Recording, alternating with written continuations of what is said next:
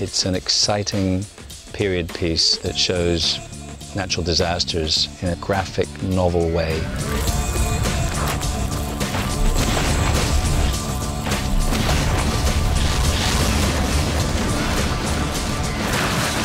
So much of this happens in the VFX. Hmm. I mean, so much. Just now we were It's on all set. in the edit, baby. It's all in the edit, baby. We wanted to make Atlantis something other than the traditional swords and sandals, and so we don't have a lot of sets. We're using a lot of 3D animation. To do that successfully, we need a lot of green screen, like behind me.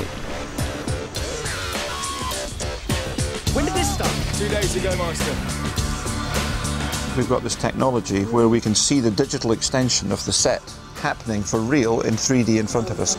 It's been quite amazing, really. You can go back to the monitor and you can You get a take rough eye idea. lines as well. Yeah. The camera's behind you and you're, you know, the volcano's over there, but you're looking there.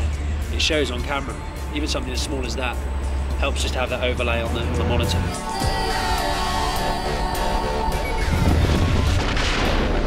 It's hugely exciting because we're breaking frontiers, we're doing something new.